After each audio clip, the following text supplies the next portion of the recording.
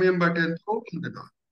తండ్రి Christian piece makers పరిచర్య బట్టి ఎంతో వందనాలు తండ్రి. ఎంతో దూరదృష్టితో ఇద్దరు బిషప్లు సింగం గారు భాస్కర్ గారు ఈ వేదికని స్థాపించటమే కాదు ఈ పరిచర్యని స్థాపించటమే కాదు ఎంతో ప్రయాసంతో ఈ పరిచర్యని ముందుకు తీసుకొని వెళ్తున్నారు. దాన్ని బట్టి సార్వత్రిక సంఘము మేలు పొందుతుంది తండ్రి క్రైస్తవ సమాజం మేలు పొందుతుంది. నేను కూడా అనేక సార్లు ఈ వేదిక మీద వచ్చి ఉపదేశించి నేను కూడా ఆశీర్వదించబడుతున్నాను. తండ్రి ఈ వేదిక మీద వచ్చిన ప్రతి వ్యక్తిని ప్రతి సేవకుడిని సేవకురాలని మీ చేతులు అప్పచెప్తున్నాం.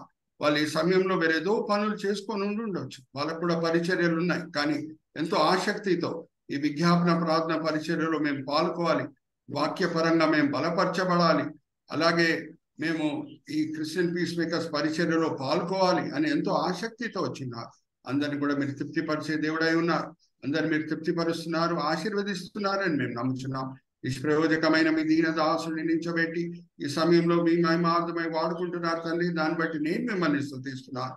ఈ దినం ఈ వేళ ఈ పూట మీరు మా కొరకు ఏర్పరచుకున్న ఆత్మిక పాఠములు మా విశ్వాస నేతను చెప్పి బయలుపరుస్తారని నమ్ముచు ఈ వినపములు మేము ఏసుక్రీస్తు పరిశుద్ధమైన పెడుకుంటున్నాం ఆమెన్ ఆమెన్ ఆమెన్.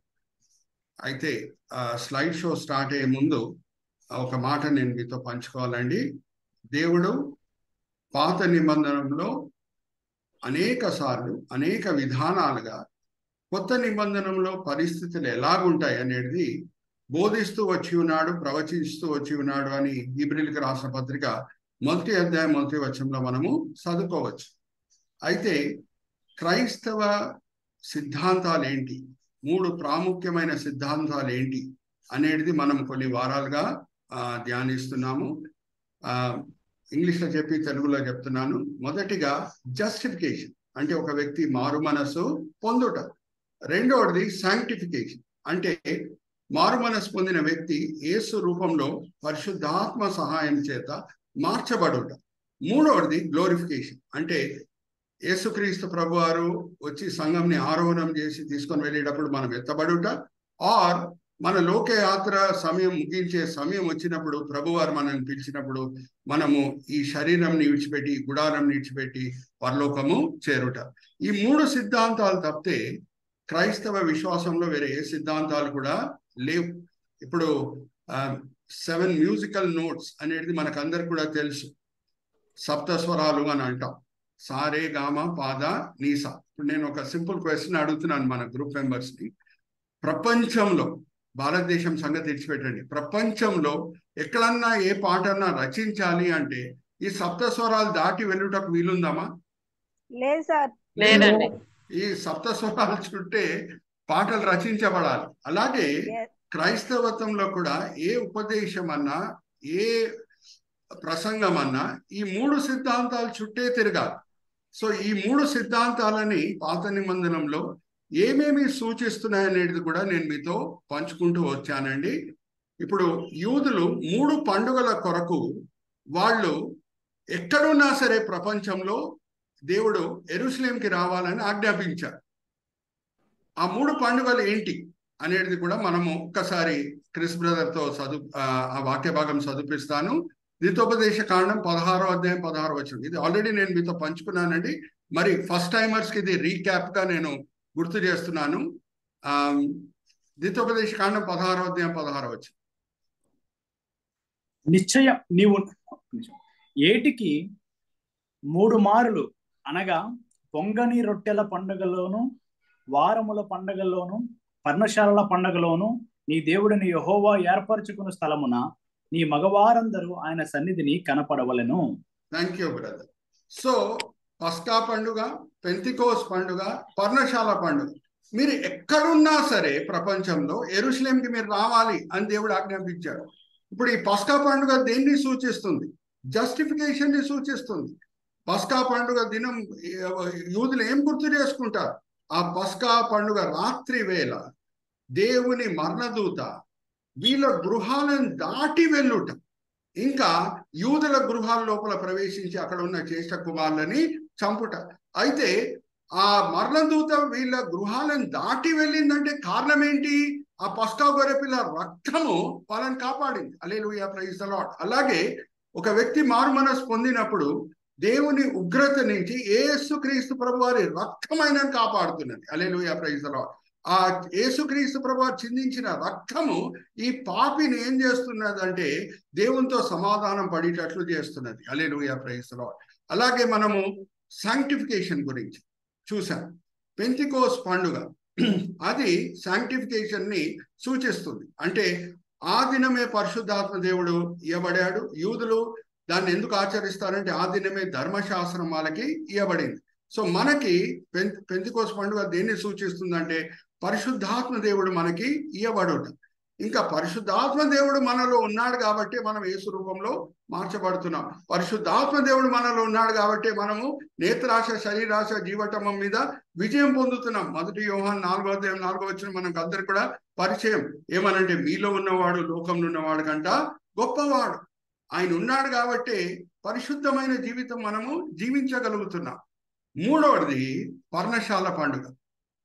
దేవుని సన్నిధిని వాళ్ళు గుర్తు చేసుకుంటారు. అరణ్య యాత్రలో భయంకరమైన వాతావరణం. దినంలో దానంత వేడి ఎక్కడ ఉండదు రాత్రి వేళ దానంత చలి ఎక్కడ ఉండదు అరణ్యంలో. ఆ సమయంలో దేవుని సన్నిధి వాళ్ళని కాపాడింది. దేవుని సన్నిధి ఎలా కనిపించేది వాళ్ళకి దినంలో మేఘస్తంభము రాత్రి వేళ అగ్నిస్తంభం. ఆ మేఘస్తంభం వాళ్ళకి కావాల్సిన నీడిస్తున్నది. ఆ అగ్నిస్తంభం వాళ్ళకి రాత్రి వేళ కావాల్సిన వేడి ఇస్తున్నది. సో దాన్ని గుర్తు చేసుకొని పర్ణశాల పండుగ వాళ్ళు ఆచరిస్తారు. అలాగే ఆ పర్ణశాల పండుగ దేన్ని సూచిస్తుందంటే యేసుక్రీస్తు ప్రభు వారి సన్నిధి ఎరుషులేంలో అందరూ కళ్ళారా చూడొచ్చు రెండో రాకడ తర్వాత. అలేలుయా ప్రైజ్ లాడ్ ఆయన సన్నిధి అందరు కూడా కళ్ళారా చూడొచ్చు. ఆ మేఘ స్థభంని అగ్ని స్తంభంని యూదులు ఎలాగా కళ్ళారా వాళ్ళ అరణ్య యాత్రలో చూశారో యేసుక్రీస్తు ప్రభు వారు శారీరకంగా సింహాసనం ఆసీనుడై ఎరుషులేంలో లోకంని పరిపాలించుట అందరు కూడా చూస్తారు. ఆయన సన్నిధి ప్రజలతోనే ఉంటుంది. సో అందుకే పర్ణశాల పండుగ యూదులు ఆచరిస్తారు. సో ఈ మూడు పండుగలు కూడా జస్టిఫికేషన్ సాంటిఫికేషన్ గ్లోరిఫికేషన్ని సూచిస్తుందని నేను మీతో పంచుకున్నానండి. ఇప్పుడు పుస్తకాల క్రమము అలే లూయా ప్రైజ్ పాత నిబంధనలు ఉన్న పుస్తకాల క్రమం కూడా మనం గమనిస్తే అక్కడ మనకేం కనిపిస్తుందంటే మరీ జస్టిఫికేషన్ సాంక్టిఫికేషన్ గ్లోరిఫికేషన్ ఇంకొకటి నేను మీతో పంచుకోవాలండి. ఒక ప్రశ్న కూడా అడగాలి. జస్టిఫికేషన్ లేకుండా ఉంటే సాంక్టిఫికేషన్ రావడానికి ఆస్కారం ఉందా? లేదు. లేదు. సాంక్టిఫికేషన్ లేకుండా ఉంటే గ్లోరిఫికేషన్ రావడానికి ఆస్కారం ఉందా? లేదు. సో అలాగే థ్యాంక్ యూ మా. థ్యాంక్ యూ క్రిస్ బ్రదర్ అలాగే ఇప్పుడు పుస్తకాల క్రమం కూడా మనం చూస్తే ఇప్పుడు చందు బ్రదర్ మనకి ఆ స్లైడ్ చూపిస్తారు. ఇక్కడ చూడండి. మూడు పుస్తకాలు మనకు కనిపిస్తున్నాయి. నెక్స్ట్ స్లైడ్ బ్రదర్ నీర్గమా కాండం నీర్గమా కాండం నెక్స్ట్ స్లైడ్ నీర్గమా కాండము ఏం సూచిస్తుందంటే జస్టిఫికేషన్ని సూచిస్తుంది. అక్కడే మనం చూస్తే యూదులు పస్కా పండుగని ఆచరించుట మనము చూస్తున్నాం. దాని తర్వాత వెంటనే లెవి కాండం దాని తర్వాత. అలేరు లెవి కాండం మొదటి అధ్యాయం మొదటి వచనం నుంచి చివరి అధ్యాయం చివరి వచనం వరకు మనం గమనిస్తే పరిశుద్ధత పరిశుద్ధత పరిశుద్ధత. అలేలు ఇంకా యూదులని దేవుడు పరిశుద్ధులని రక్షించలేదు కానీ పరిశుద్ధులుగా చేయుటకు దేవుడు రక్షించాడు. అలాగే మనము గొప్పవాళ్ళమని దేవుడు మనల్ని రక్షించలేదు కానీ మనల్ని పరిశుద్ధులుగా చేయుటకు రాయల్ ప్రీస్టుడ్గా చేయుటకు దేవుడు మనల్ని క్రైస్తవులుగా రక్షిస్తున్నారు ఇప్పుడు చూడండి ఏ పుస్తకం మొదట్లో వస్తుంది? లేవికాండం మొదట్లో వస్తుందా? నిర్గమకాండం మొదట్లో వస్తుందా? నిర్గమకాండం తర్వాతనే లేవికాండం. ఇంకా సంఖ్యాకాండంకి వస్తే యూదులు వాగ్దాన దేశం సరిహద్దులకు వచ్చేసారు ఇంకా యహోశ్వ గ్రంథంకి వస్తే దాని లోపల ప్రవేశించేశారు. అలే లూయా ప్రైసరావు ఆ క్రమం చూడండి. అలే లూయా ప్రైసరావు ఆ సంఖ్యాకాండం మొదట్లో వస్తుందా? నిర్గమకాండం మొదట్లో వస్తుందా? నిర్గమకాండం ఫస్ట్ రక్షించబడాలి దాని తర్వాత లెవికాండం వాళ్ళు పరిశుద్ధులుగా జీవించడం నేర్చుకోవాలి. దేవుని మాటలకి లోబడుట నేర్చుకోవాలి. దాని తర్వాతనే వాగ్దాన దేశం వెళ్ళుటకు వాళ్ళు అర్హులు అవుతారు అలెలు హరి ఆల్ అండర్స్టాండింగ్ చూడండి లెవికాండము సంఖ్యాకాండం తర్వాత రావట్లేదు. దీర్ఘవకాండం తర్వాతనే వస్తుంది. దాని తర్వాతనే సంఖ్యాకాండం దాని తర్వాతనే హోష్వా గ్రంథం. Alleluia praise a lot are you all understanding so అనేక చోట్ల దేవుడు ఆయన సంకల్పం ఏంటో కొత్త నిబంధనలు ఉన్న సంకల్పం ఏంటో చక్కగా పాత నిబంధనలు దాచిపెట్టాడు. ఇప్పుడు నేను నెక్స్ట్ స్లైడ్ చూపించే ముందు నేను మిమ్మల్ని ఒక క్వశ్చన్ అడుగుతాను. ప్రతి క్రైస్తవునికి మనసుకి దగ్గర ఉన్న కీర్తన ఏంటో చెప్పండి. వెంటనే చెప్పారు ఇరవై మూడో కీర్తన very good Chris brother so చాలా సార్లు మనం ఇరవై రెండో ఇరవై మూడో కీర్తన చదువుతాం. కానీ ఇరు- ఇరవై మూడో కీర్తన ముందేముంది ఇరవై మూడో కీర్తన తర్వాత ఏముంది? ఎప్పుడైనా మనం ధ్యానించామా? అది ఒక ప్రశ్న.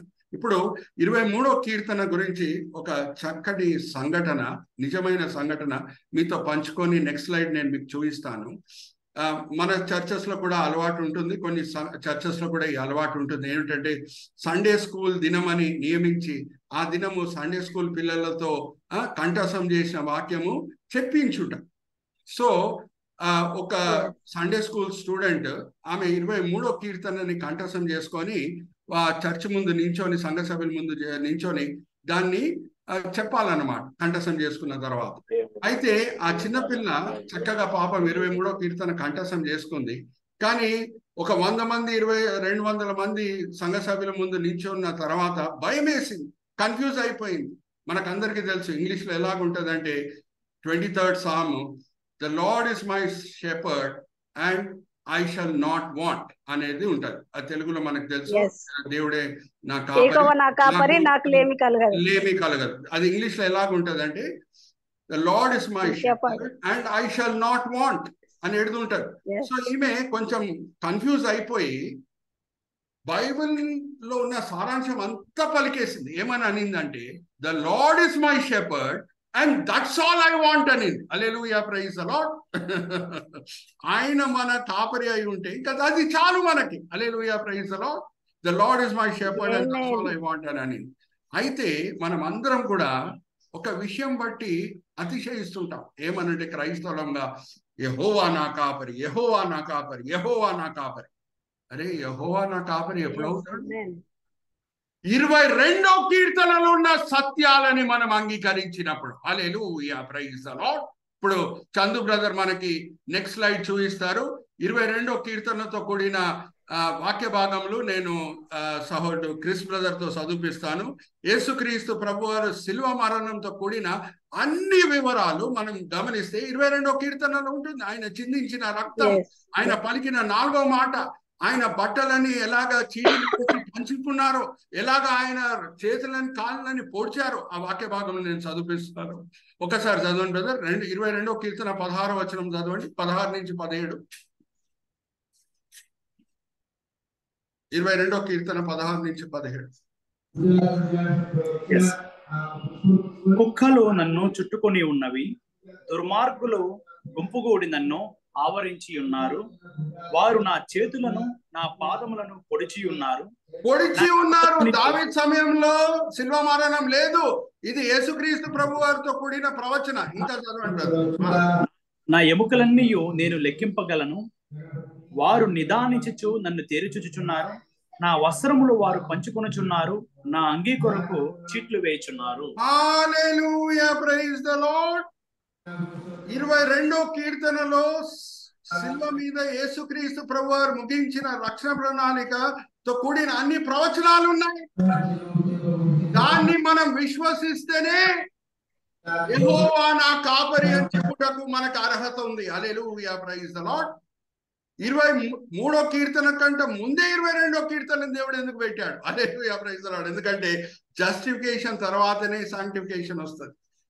ఎప్పుడు ఎహోవా నా కాపరి అవుతాడో ఇంకా ఆయన నన్ను నడిపించడం తీసుకు స్టార్ట్ చేస్తాడు. ఎక్కడ తీసుకొని వెళ్ళాలో ఆయనకు తెలుసు. He leads me beside still waters ఆ చూడండి ఆ స్టిల్ వాటర్స్ కూడా కొంచెం లోతులు వెళ్తే కళ్ళలో నీళ్ళు వచ్చేస్తాయి. గొర్రెలకి జాగ్రత్త వినండి. ఆ స్టిల్ వాటర్స్ అంటే ఆ ఆ వాటర్స్లో ఏం వైబ్రేషన్ ఉండదు అనమాట గొర్రెలకి జాగ్రత్తగా మీరు గొర్రెని చేతిలో పట్టుకొని చూడండి. ముక్కుకి నోరుకి గ్యాప్ చాలా తక్కువగా ఉంటుంది. మరి చెప్తున్నా. ముక్కుకి నోరుకి గ్యాప్ చాలా తక్కువగా ఉంటుంది. వాటర్ వైబ్రేట్ చేస్తే అది తాగుటకు నీళ్ళు కొరకు తాగుటకు తల దించితే ఆ నీళ్ళు ముక్కు లోపల వెళ్ళిపోదానికి కూడా ఆస్కారం ఉంటుంది. వాటర్లో వైబ్రేషన్ ఉంటాయి జాగ్రత్తగా వినండి.